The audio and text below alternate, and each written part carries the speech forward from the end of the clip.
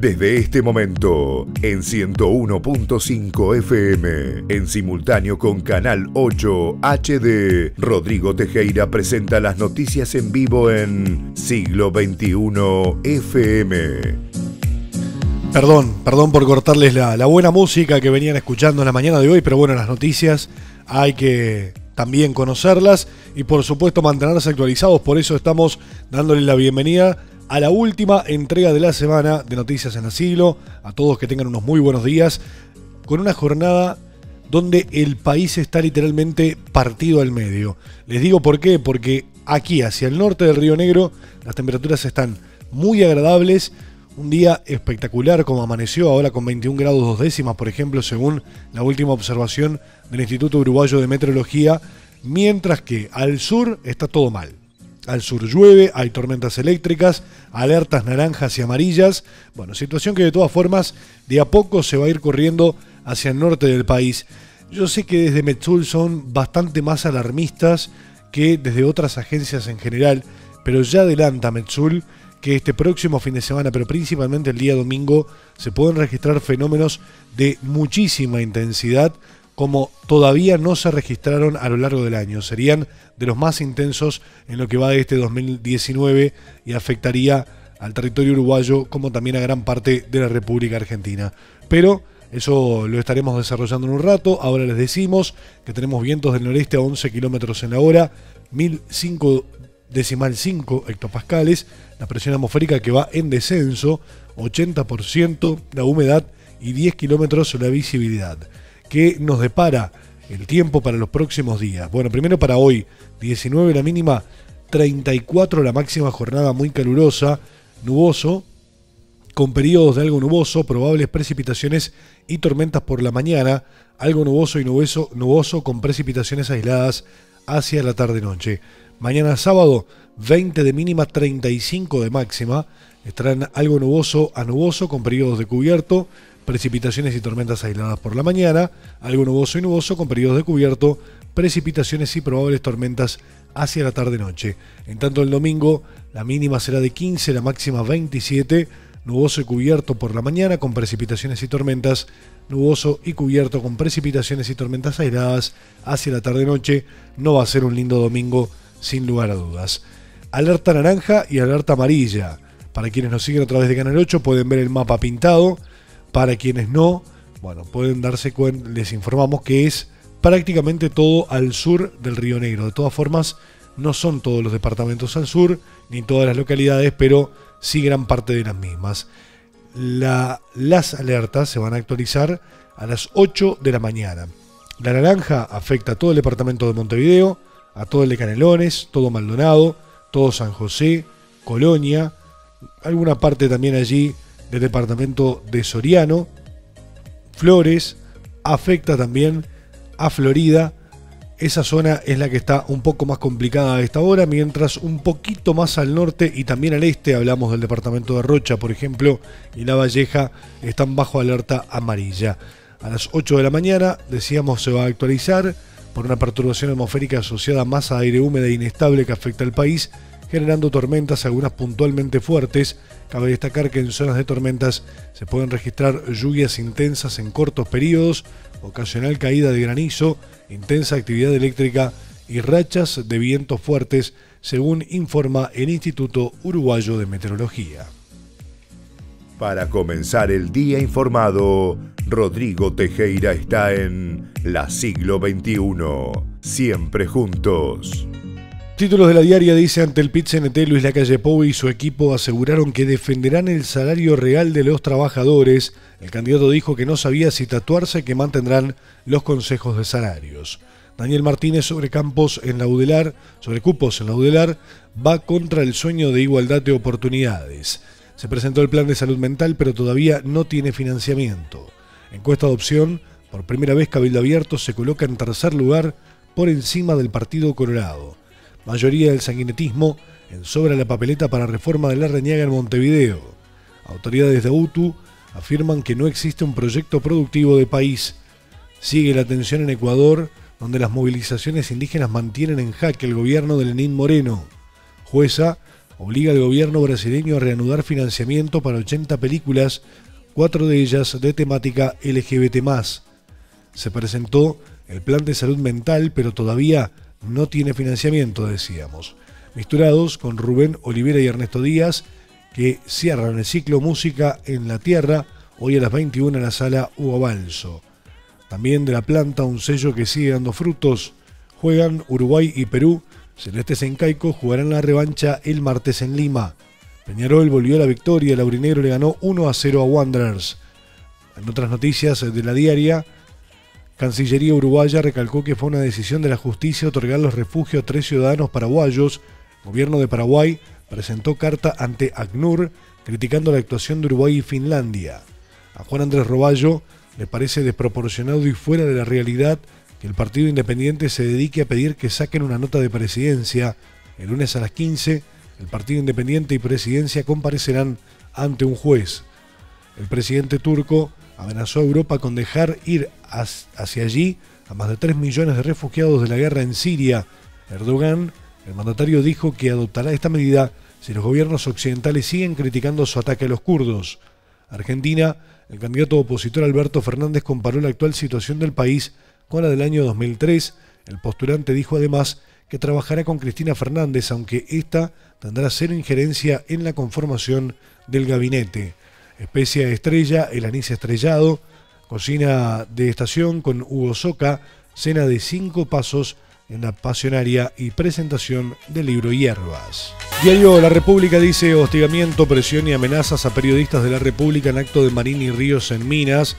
La pregunta sobre la búsqueda de desaparecidos y la presencia de Eduardo Radeli en la lista de convencionales fue lo que desató la reacción. Restos de Eduardo Bleyer serán velados el lunes en el Paraninfo de la Universidad.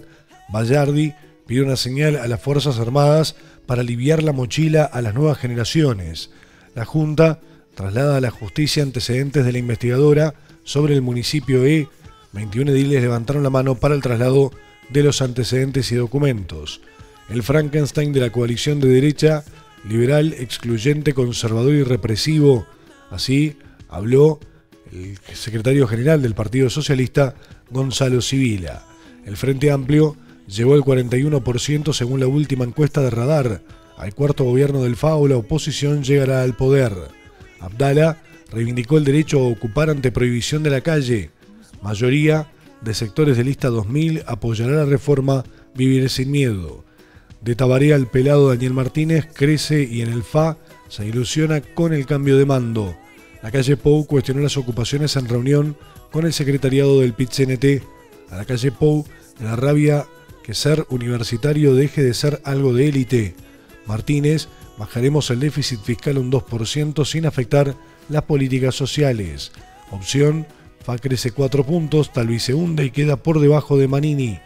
Talvi genera crispaciones en el Partido Colorado. Novik propuso pasar de 19 a 5 las intendencias. Cose arremetió contra la calle por dichos sobre cupos en la UDELAR. Pasamos ahora a Diario del País que dice la recta final, la campaña Vivir sin Miedo carga contra Martínez por allanamientos nocturnos. La minera que no fue, deudas millonarias y 25 demandas estatales y privadas, lo que dejó la fallida obra de Aratirí. Talvi toma distancia de Manini y limita alcance de la coalición. La calle eliminará el decreto que autoriza las ocupaciones y hará cambios a la negociación colectiva. Paraguay suspende distinción al embajador de Uruguay. PwC, PricewaterhouseCoopers, el actual cepo del dólar de Macri es más nocivo que el aplicado por el gobierno K. La recta final, costos de estudios, rondas rurales, libertad de elección y corralito, planes en salud de los candidatos a presidente. Investigación Orgullo Celeste, una levadura uruguaya será exportada a varios países para hacer vino. La recaudación de aduanas cayó 12,5% los primeros nueve meses del año. Gustavo Leal le pedirá consejos a los que fueron ministros del Interior. Torneo clausura, la cabeza de Beatri y las manos de Dawson le dieron otra vida a Diego López. También, género, ¿por qué tan pocas mujeres ganan los Nobel de Ciencia? En primera persona, la historia de cómo se hizo 25 watts contada por uno de sus directores, Pablo Stoll. La respuesta de Talvi tras conocer encuesta que dio el Partido Colorado detrás de Cabildo Abierto. Cabildo Abierto pasa al Partido Colorado y queda tercero en intención de voto según opción. 1 a 1 con Pablo Mesía, la aromatización en el hogar ya es un hábito entre los uruguayos. Tienda inglesa, Scotiabank y Santander, pases que sacuden el tablero de la publicidad. Lo que viene, Inumet advierte por lluvias muy fuertes y Metzul por tormentas muy severas. Con menos comunas, se ahorrarían 400 millones de dólares, dijo Novik. Comercio exterior, la ventaja del principal producto de exportación de Uruguay escapa a la guerra comercial. Indígenas no aceptan negociar con el gobierno de Lenín Moreno en Ecuador. Que yo voy a encontrar la noticia de vuelta porque se pasa actualizando, cosas que suceden en televisión en vivo siempre.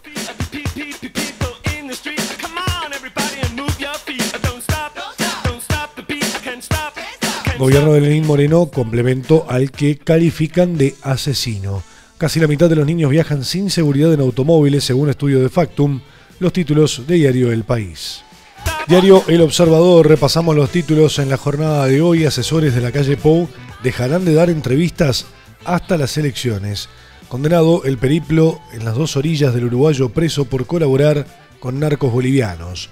Perfil de una voz excepcional, el increíble viaje de Rosalía de cantante de flamenco a, superestrella. Preocupación en la ONU, Ecuador, cinco muertos y anuncian más radicalización. Amistoso, el joven Uruguay se prueba en el centenario ante Perú, entre operativos y derribos que proponen los candidatos para combatir el narcotráfico. Martínez y la calle crecen tras debate y polarizan elección según nuevas encuestas. ¿Qué pueden esperar los exportadores y el turismo con Fernández en Argentina? Tiempo, Inumet alertó por lluvias desde el viernes y por el fin de semana. Peñarol le ganó 1 a 0 Wanderers y le puso paños fríos a su crisis. Sindicato, Adeón reflejó fracturas en una asamblea en la que se levantó el conflicto con la Intendencia de Montevideo. Neurona Financiera, finanzas para mayores de 50. También seguridad, Gustavo Leal, hay gente que me dice que tiene miedo el asesor de Daniel Martínez dijo que no tendría problema en sumar expertos de la oposición a su equipo. Campaña Talvi dispuesto a negociar tema a tema con el FA en un gobierno colorado sin mayorías. El candidato dijo que no es lo deseable y sería típico, pero que es posible tener acuerdos en educación y seguridad. Respuesta, Martínez sobre críticas al portal de presidencia. Hacen una tormenta en un vaso de agua. El candidato oficialista dijo que los comentarios de Susana Arbeleche estuvieron fuera de tono. La bella de cerca, la vejez según una bella, la tenue línea entre ser un viejo piola y un viejo de mierda. Fernández de cerca, el objetivo del Partido de los Trabajadores en política. Abella, la doble vida en la dictadura y cómo se enteró la muerte de su madre. Abella también dijo que la decepción con el FA en el exilio vi actitudes inmorales, títulos del Observador. Montevideo Portal, no todo es político, embajador paraguayo pide no politizar papel de Uruguay en refugio a requeridos. Rogelio Benítez, representante diplomático del Uruguay, se entrevistó con la vicepresidenta Lucía Topolansky. Y en las tormentas desde el sur, de Mercedes a Punta del Este, alerta naranja por tormenta en el sur del país. También está vigente una advertencia amarilla en el centro del territorio nacional. Un poco de paz Clausura Peñarol derrotó 1 a 0 Wanderers en el campeón del siglo y vuelve a respirar. Lucas Biatri con un buen cabezazo encontró el ansiado gol de los Mirasoles cuando el partido se ponía cuesta arriba y volvió a festejar. La bomba, encuesta opción, Guido Marini Ríos superó a Ernesto Talvi y se ubicó en tercera posición. Pasando a la tempestad, Peñarol, mi contrato con el club va hasta diciembre y esa es la idea, dijo Diego López. Esto sigue, Naciones Unidas intervino en el caso María y le envió una carta al gobierno de España. No da la carne, Grupo Minerva envió a trabajadores de los frigoríficos Carrasco y Canelones al seguro. Basta, Rocha, condenaron a prisión a un hombre que abusó sexualmente de su nieta. Hasta acá llegamos, Adeom ratificó acuerdo con la Intendencia de Montevideo y Dicandia celebró el fin exitoso del conflicto. Molestando, Wanders, Alfredo Arias responsabilizó a Leodán González del gol de Lucas Biatri merecido. Primer ministro etíope Abiy Ahmed gana el Nobel de la Paz. El ministro, el primer ministro de etíope ganó el Nobel de la Paz, según informó hoy el Comité Nobel de Noruega. El mío transforma, Talvi, La calle Pou propone un gobierno para evolucionar y da sensación de status quo. A corregir, la Intendencia de Montevideo comenzará a multar a vehículos por la ausencia de sillitas cuando viajan niños. Fumadísimos, sobre los mil kilos de marihuana en un ómnibus de excursión de los 28 paraguayos imputados. Para la historia, la usura Cerro Largo venció a Cerro 2 a 0 con un gol del arquero Washington Aguirre que fue casi que de arco a arco. Son las 7 de la mañana con 20 minutos, es momento de la primera pausa musical, ya venimos con el desarrollo de noticias.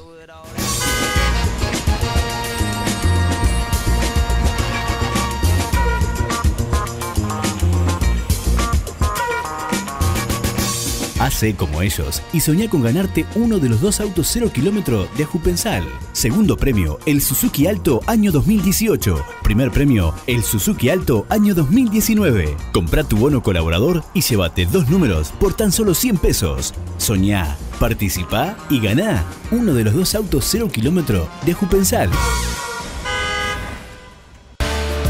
Acto cierre de campaña de Luis Lacalle Pou en Salto, este sábado 12 de octubre a la hora 16 en Club Círculo Esportivo. Luis y Beatriz en Salto. Te esperamos. Invita Lista 404.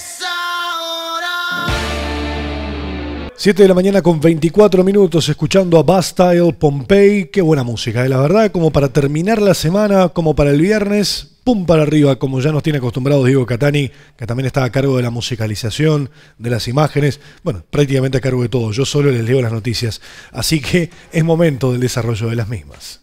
La información nacional desde este momento en La Siglo. En Rocha condenaron a prisión a un hombre que abusó sexualmente de su nieta. La fiscal del caso solicitó como medida cautelar la prisión preventiva del imputado por 180 días, otorgándola la jueza por 90.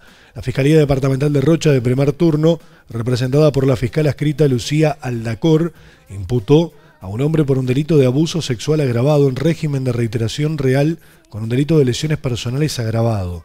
Además, Aldacor solicitó como medida cautelar la prisión preventiva del imputado por 180 días, otorgándola a la jueza por 90. Según el pedido de formalización de la fiscal, del examen físico realizado a la víctima por la perito forense, surge que presenta signos de abuso sexual recientes y concluye sus consideraciones médico-legales, mencionando lo cual es compatible con el relato. De la pericia psicológica forense se desprende un relato acerca de los hechos denunciados, el cual es consistente, espontáneo, ubicándolo en tiempo y espacio. El relato de los hechos constituye un indicador específico y fiable de la ocurrencia del abuso sexual infantil.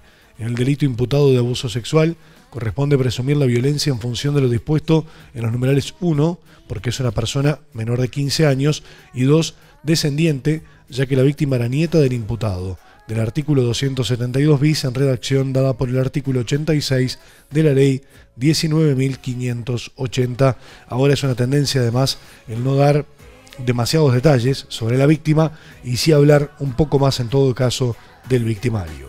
El ministro de Trabajo y Seguridad Social Ernesto Murro defendió la necesidad de mantener incambiados los consejos de salarios y se refirió a la evolución histórica de los salarios en nuestro país. El ministro mostró una gráfica elaborada por el Ministerio de Trabajo para mostrar la relación entre el crecimiento de la economía con respecto a la evolución del salario a lo largo de los años. Acá, en este lugar, esto es la dictadura. La economía creció y los salarios bajaron. Este otro punto que está acá, donde los salarios crecen poquito y la economía creció mucho, este es en la década del 90, donde gobernó La Calle, Sanguinetti, Valle. ¿Lo que quiere decir esto? Que crecimiento económico hubo en todos los periodos. Sin embargo, crecimiento de salario hubo solo cuando se convocó a los consejos de salarios. Escuchábamos al ministro de Trabajo, Ernesto Murro. El Grupo Minerva envió a trabajadores de los frigoríficos Carrasco y Canelones al seguro. La situación se debe específicamente a la falta de ganado, dijo el dirigente de FOICA, Luis Muñoz. El Grupo Minerva, propietario de tres plantas, tiene funcionando solamente la de Durazno. Los trabajadores de los frigoríficos Canelones y Carrasco serán enviados al seguro de paro luego que vuelvan de la licencia tras una decisión del grupo Minerva y la falta de ganado, según dijo Montevideo Portal, el dirigente de la Federación de Obreros de la Industria de la Carne y Afines FOICA, Luis Muñoz. La noticia fue comunicada este jueves por parte del grupo a los trabajadores y según dijo Canelones Ciudad Portal, el dirigente del Sindicato de Obreros y Obreras del frigorífico Canelones, Raúl Torres, la notificación causó un gran impacto. Muñoz dijo Montevideo Portal que la razón de estos envíos al seguro de paro, son casi 600 trabajadores, se debe específicamente a la falta de ganado, una situación que se repite en todo el Uruguay y que tiene que ver principalmente con la venta de ganado en pie. El grupo Minerva de nacionalidad brasileña, es propietario de tres frigoríficos, el de Carrasco, Canelones y el BPU en Durazno. En este momento, el único que está funcionando es justamente el de Durazno. La situación mejorará a partir de noviembre, auguró Muñoz. Naciones Unidas intervino en el caso María y le envió una carta al gobierno de España. La relatora de Naciones Unidas sobre la violencia contra la mujer respondió a organizaciones sociales que presentaron una queja de urgente consideración por el caso de la niña de 7 años. La Red Uruguaya contra la Violencia Doméstica y Sexual y la Intersocial Feminista presentaron una queja de urgente consideración ante la relatora especial de Naciones Unidas, Dubravka Simonich, sobre la violencia contra la mujer, sus causas y consecuencias por el caso conocido como María no se va. La relatora especial respondió de forma inmediata a las organizaciones y les aseguró que envió una carta al gobierno español de contenido confidencial por este caso. Según informaron desde las organizaciones en un comunicado, el contenido de la nota se podrá conocer en 60 días. Ambas organizaciones denunciaron a la ONU el sometimiento de una niña de 7 años a trato cruel, inhumano y degradante. Por otro lado, advierten que existe riesgo de vida de la niña y riesgo de grave afectación en salud mental e integridad física al ser sometida a una quita forzada, método de arrancamiento. También señalan que existe una orden judicial que indica el arrancamiento de la niña de 7 años de su madre para ser entregada a su padre, quien ha ejercido violencia de género hacia ambas, y la niña ha relatado ser víctima de abusos sexuales por parte de él. Además, sostienen que no se toma en cuenta su opinión y su derecho a ser oída consagrado en la Convención Internacional de los Derechos del Niño. Las organizaciones explican que la niña ha expresado nueve oportunidades frente a equipos técnicos que no quiere ver a su padre, que lo rechaza y le teme, llora y se angustia cuando le proponen verlo. En el comunicado advierten por las múltiples irregularidades cometidas por la justicia española para examinar el fondo del asunto que dejaron a la niña desprotegida. España desestima la violencia de género comprobado en Uruguay y el abuso sexual alta probabilidad según pericias uruguayas, basando su argumentación en el falso síndrome de, alienación parental. No hay fecha fijada para que María deje bajo los cuidados de su expareja su hija de 7 años, que juntas llevan cuatro días encerradas en el Consulado de Uruguay de Barcelona. En principio, estaba previsto el miércoles como fecha de entrega, pero ahora mismo no hay ninguna fecha concreta, dijo a la AFP una portavoz del Tribunal Superior de Justicia de Cataluña. La jueza española encargada del caso había decretado para el pasado viernes la entrega al padre, a quien María había demandado sin éxito por abusos sexuales contra la menor. Los pescadores están denunciando que barcos brasileños ingresan en forma ilegal a la laguna Merinia afluentes. Esta situación está generando importantes perjuicios a quienes se dedican a la actividad. Bueno, hay un gran problema en, nuestros ríos y arroyos este, con la incursión de embarcaciones de origen brasileño que vienen a colocar redes, este, trasmayan todos los cursos de agua, no dejan pasar absolutamente nada. Y aparte de eso, hay gran malestar en los productores rurales, inclusive, por la desaparición de animales de alto costo, este, o sea que en esto no solo está mezclado, digamos, la pesca ilegal, hay abigeato, este, se habla de contrabando. Me llega otra denuncia de que en el balneario Saglia este, estarían, estaría lleno de redes brasileras también. En este caso me dicen que un grupo de gente estaba ya trabajando en el lugar sacando esas redes. Este, este grupo de gente no era oficial, era un grupo de gente de la zona este, que cansados de esto este, empezaron a sacar las redes. Los cursos de agua están abiertos. Lo que falta es vigilancia, pero para que pueda haber esa vigilancia, o sea, la gente está, las ganas están, pero falta material. Salto Grande no ha pagado la deuda con Salto.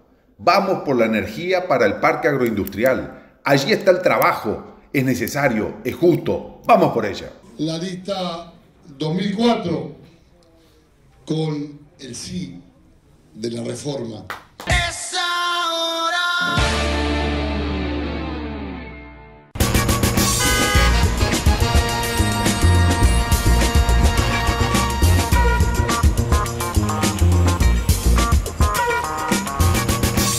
Hacé como ellos y soñá con ganarte uno de los dos autos 0 kilómetro de Ajupensal. Segundo premio, el Suzuki Alto año 2018. Primer premio, el Suzuki Alto año 2019. Comprá tu bono colaborador y llévate dos números por tan solo 100 pesos. Soñá, participá y ganá uno de los dos autos 0 kilómetro de Ajupensal. Desde ahora en Celce, todos los socios que comiencen a pagar con débito automático tienen un 20% de bonificación. Y si te haces socio con tarjeta Club del Este, tenés dos meses gratis. Celce, más seguridad, más beneficios. Rincón 49, teléfono 473 29398. Llega la primavera y Cablevisión Salto te brinda el mejor entretenimiento con la promo. Primer mes gratis, seis meses al 50%. Tasa de conexión y primer deco sin costo. Te esperamos en La Rañaga 37 473 34550 098 896 709. El cable de los salteños.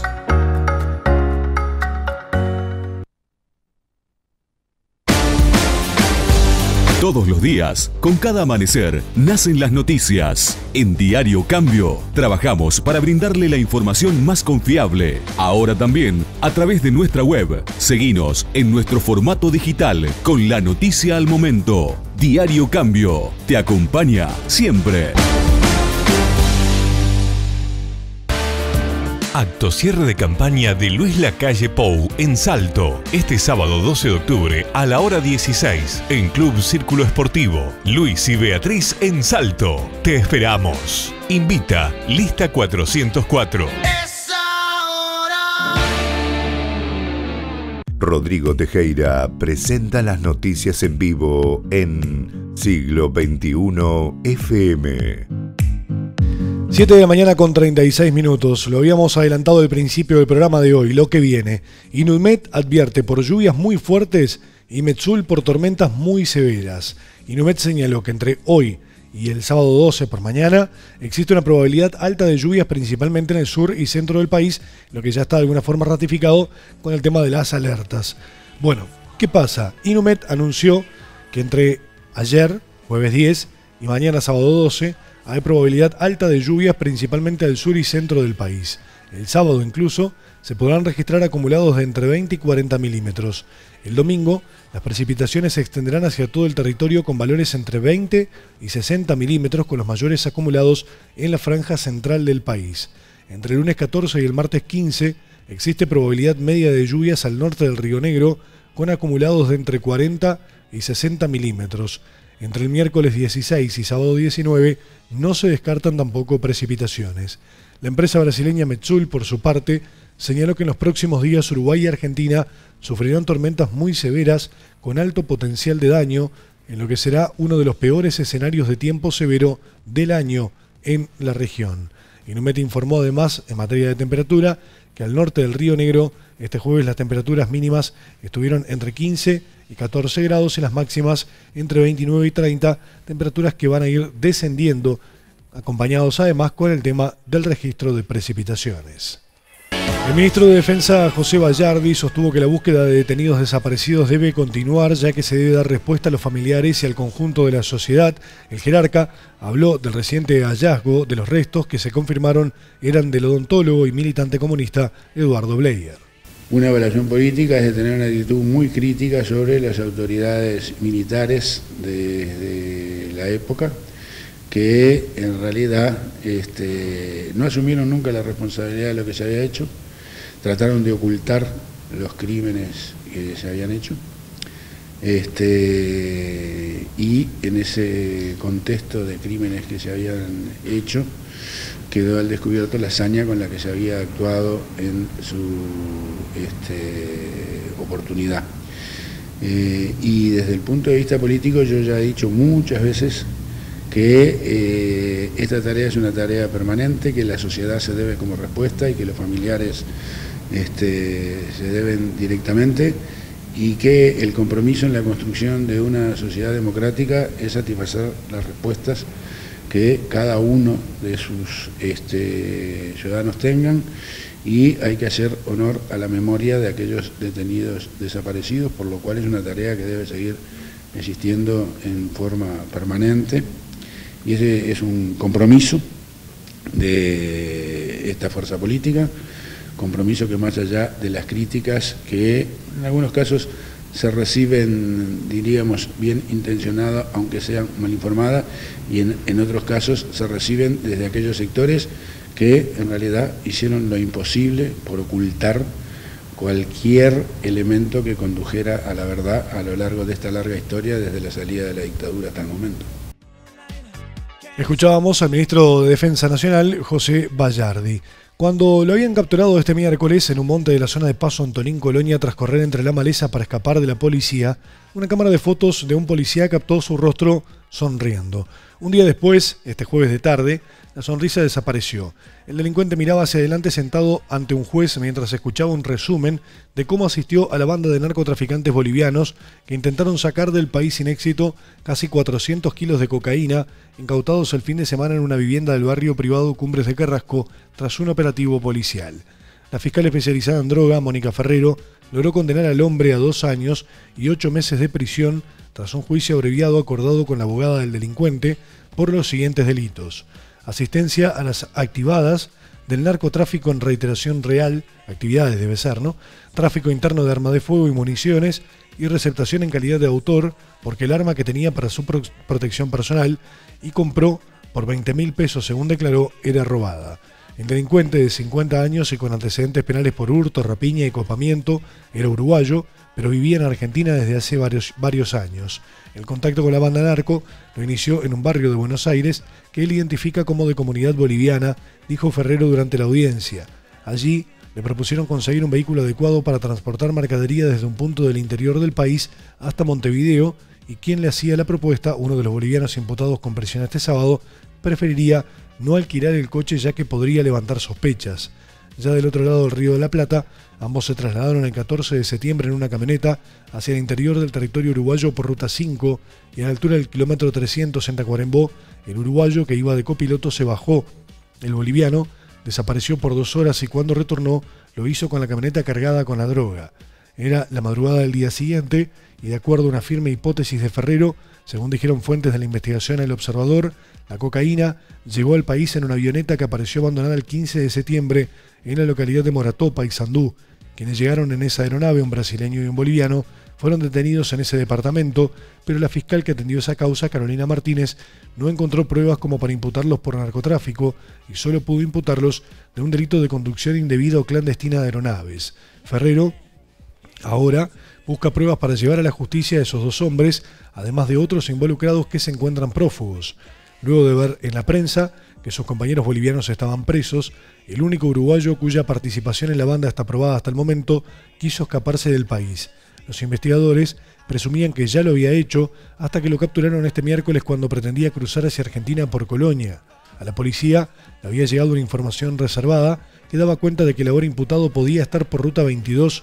Cuando lo vieron, comenzó una persecución que terminó con un choque entre el auto en el que iba el delincuente y un patrullero. El chofer tiene su marcha, detiene su marcha y el detenido se arrojó del coche dándose a la fuga a través de campos de la zona, señaló el comunicado oficial del Ministerio del Interior. El gobierno también informó que el conductor de ese auto dijo que se había salteado el control policial porque el delincuente, a quien había recogido en la ruta, le había dicho que no se detuviera. Ferrero le preguntó al hombre quiénes estaban arriba de la organización y quién era el dueño de la droga, pero no tenía esa información. Durante la negociación para acordar el proceso abreviado, pidió ir a una cárcel en especial, un dato que la fiscal no reveló en la audiencia. 11 de la mañana con 43 minutos, algo más de música y ya venimos.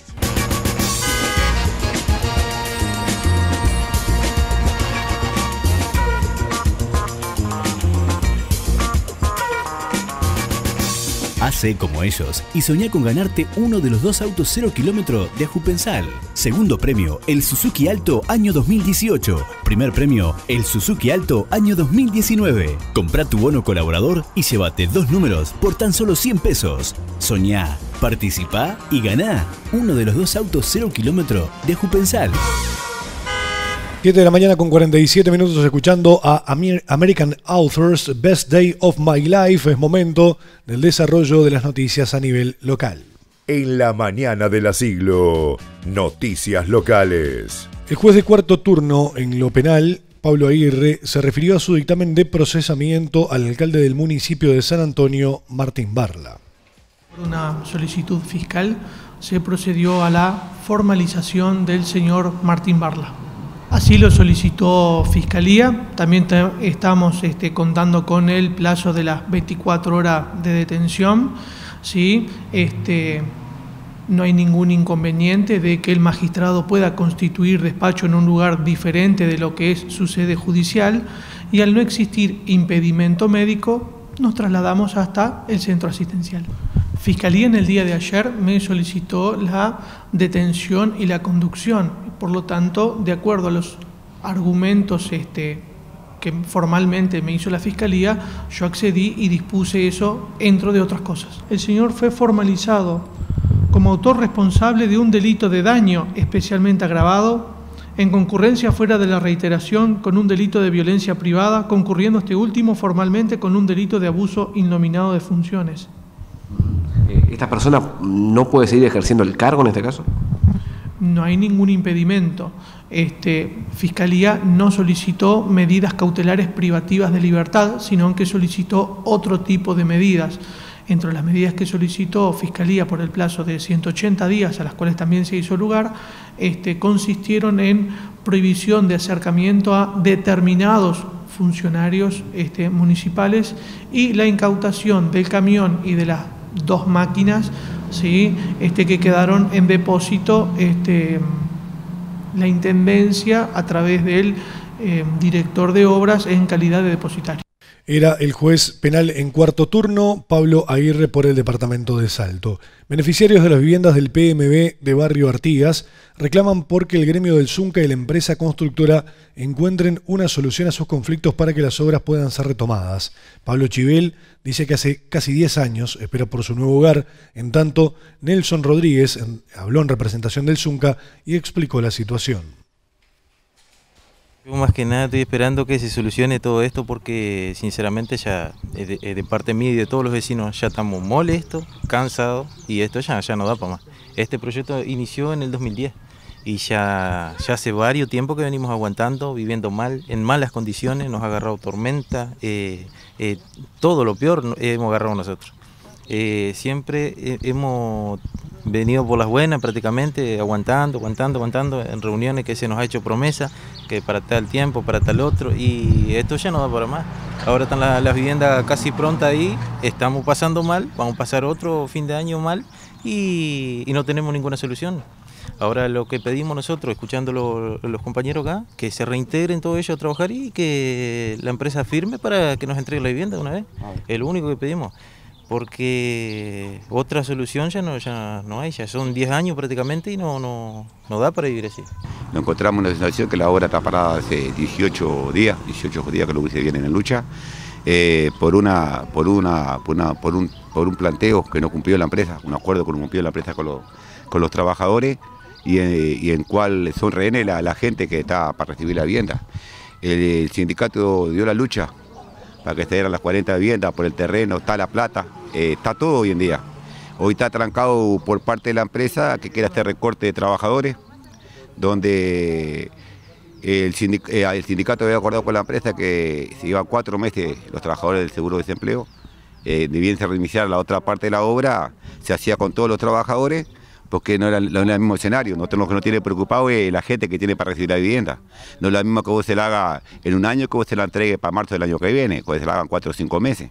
Que la gente hace 8, 10, 15 años, hay gente que hace 15 años que está esperando la vivienda y que si nos fuera por el, por el sindicato cuando se enteró que posiblemente no iban a, seguir para adelante las 40 viviendas, para 40 familias que quedan, que están esperando la vivienda, el sindicato enseguida se puso en lucha. Desde este momento, todo el deporte en La Siglo. La cabeza de Beatriz y las manos de Dawson le dieron otra vida a López. Clausura, nuevo esquema y tres puntos para Peñarol en un momento clave. Lucas Beatri, el goleador que siempre aparece en Peñarol. Vargesio prepara el regreso a la oncena titular de Nacional. Amistoso, Uruguay vuelve al centenario para enfrentar a Perú. Mirando el futuro, el partido va a partir de la hora 20. Torneo clausura, Aguirre hizo un gol de arco a arco y Cerro Largo sigue prendido. Liga Uruguaya, Capitol sacudió el inicio de la liga y se impuso a Nacional. También Aguirre lo vi siempre adelantado al arquero y dije, voy a probar. Probó e hizo el gol. Torneo clausura Guzmán Pereira de titular a ni siquiera ser convocado en Peñarol. Campeonato uruguayo, tras más de 700 minutos, anotó un delantero en el aurinegro. Van a demandar al hincha que le tocó el seno a la futbolista Sofía Huerta. Defensor Sporting cerró su participación con derrota en el básquetbol. En 10 días se mueve Villa Española con su carrera en multideportivo. Uruguay sale a cena en los Juegos Mundiales de Playa. Las Piedras vivirá su carrera el domingo, el próximo domingo. La acción del Panamericano de Jiu-Jitsu comenzará hoy, una aplicación para el cuidado de los jinetes. Les repasamos cuáles son los partidos de este fin de semana por el torneo clausura del fútbol uruguayo. A las 4 de la tarde mañana, Boston River ante Progreso, Danubio recibe a Fénix, Plaza Colonia va ante Nacional. Mientras tanto, el domingo, Cerro ante River Plate, también a las 4 de la tarde estos partidos. Cerro Largo contra Juventud, Liverpool ante Rampla, Racing contra Peñarol y a las 18.30 se juega el último partido que será el de Wanderers ante Defensor Sporting. La actividad de clausura volverá los días miércoles 16 y jueves 17 de octubre. El portal salimos.net dice Fernando López será el árbitro de Ceibal Ferrocarril. También la sub-14 de Salto jugará en el Matías González ante Artigas. Será el estadio Matías González este sábado a partir de las 15.30. Ceibal y Universitario son los líderes del acumulado. Empate entre Nacional y Ferrocarril, con un buen marco de público en el estadio de Nacional para ver la doble jornada. Universitario que ganó y sigue en la lucha por el acumulado. Hoy se completa además la décima fecha de la. El miércoles se completó la décima fecha de la Divisional A. Vamos a repasar cuáles son los partidos previstos para el próximo fin de semana, justamente.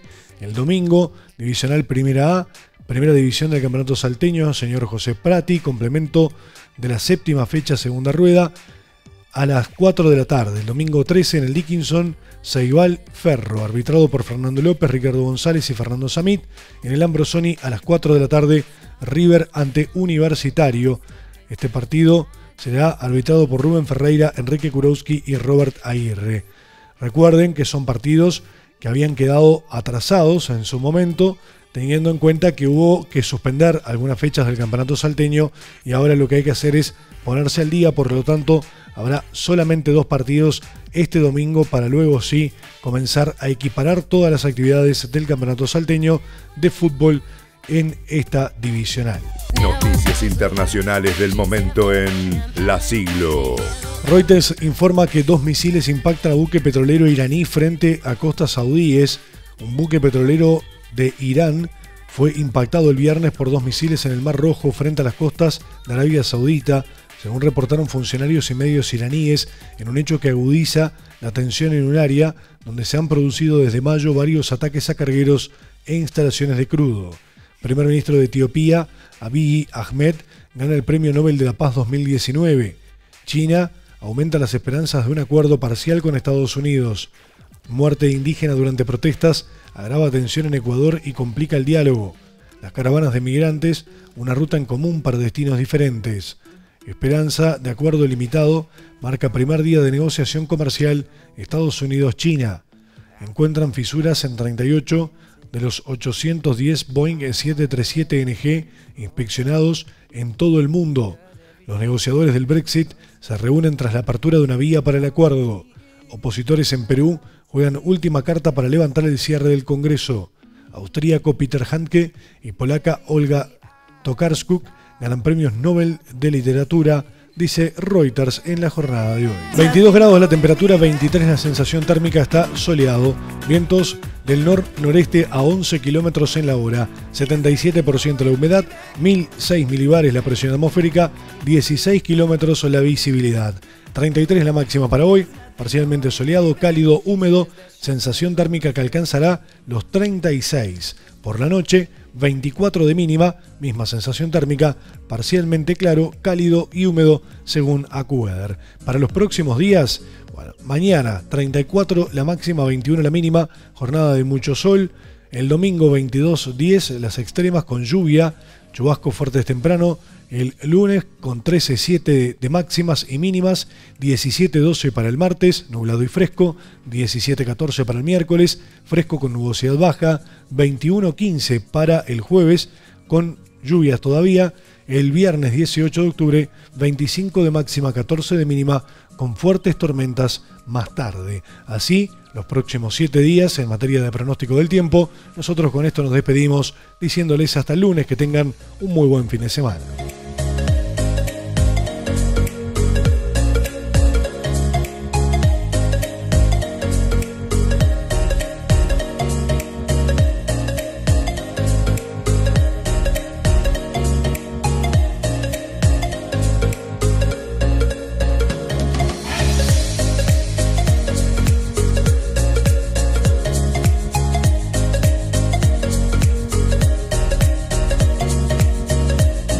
Comenzar el día informado, Rodrigo Tejera está en La Siglo XXI, siempre juntos.